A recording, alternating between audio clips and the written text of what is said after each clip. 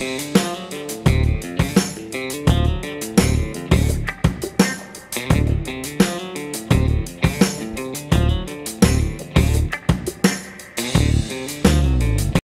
a tutti, ben ritrovati sul canale Digital Music.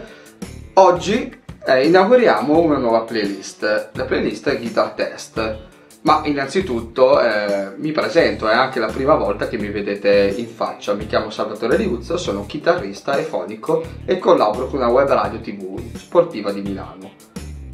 Oggi parliamo di un marchio eh, di chitarre veramente veramente da rapporto qualità-prezzo altissimo voglio presentarvi eh, l'Harley Benton R457. È una chitarra a 7 corde, veramente ideale per chi vuole passarsi un ospizio di avere una, una, una 7 corde. Ecco. Io mm, l'ho presa veramente, veramente per, per sfizio, ho detto non, non ne possiedo neanche una, non voglio investire tantissimi soldi eh, perché come vedete alle mie spalle forse ne ho spesi abbastanza però anzi in realtà non è mai abbastanza per quanto si riguarda strumenti, chitarre a parte gli scherzi eh, questa chitarra secondo me ha un rapporto qualità-prezzo veramente altissimo. E dopo ne, successivamente ve la farò ascoltare. Comunque voglio anche descriverla un attimo. Corpo in tiglio ok? Tastiera 24 tasti.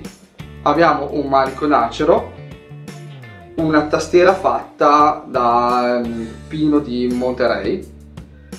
Tasti jumbo e poi la parte elettronica abbiamo due humbucker high gain passivi e in più eh, un bel ponte fisso.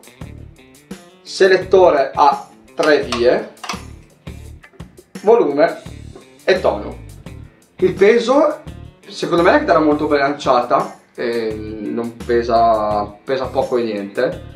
E in più la, la tastiera è veramente veramente comoda eh, questa è stata settata da un liutaio de, della mia zona e monta una 0954 come, come scala di corde e veramente a me mi sta dando molte soddisfazioni. Comunque ve la faccio ascoltare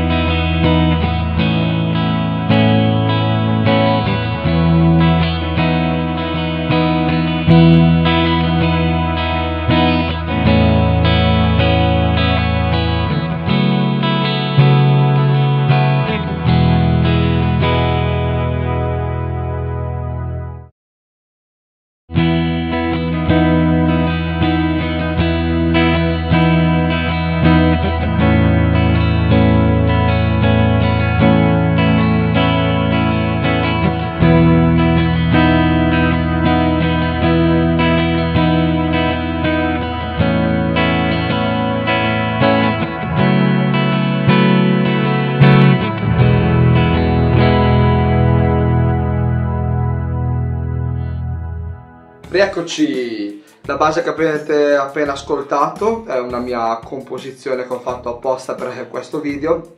Spero che vi sia piaciuto. Se avete curiosità, domande, critiche, che le critiche costruttive eh, sono sempre ben accette, so che i video non sono perfetti, devono ancora attrezzarmi per bene, però io ce la metterò tutta, ho un bel po' di prodotti da farvi vedere se volete sapere mh, mm, cosa ho usato per registrare, eh, anzi ve lo dico anche subito, laddove è sempre il Cakewalk, eh, il Cakewalk Band Lab o vecchio Sonar, ecco in questo caso ho usato il vecchio Sonar. Non faccio pubblicità eh, a nessun prodotto, non sono endorsement, è soltanto condivisione questi video. E comunque eh, le chitarre sono state registrate con un camper e ho usato vari profili che magari se vi interessa e vi è piaciuto il suono ne possiamo parlare nei commenti. E attivo il canale Instagram Digital Music.